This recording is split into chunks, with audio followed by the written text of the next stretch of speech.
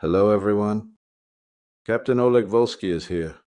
In this video, I will show you how to tie an artillery loop, also known as artilleryman's knot, man harness knot, man harness loop, harness loop, harness hitch.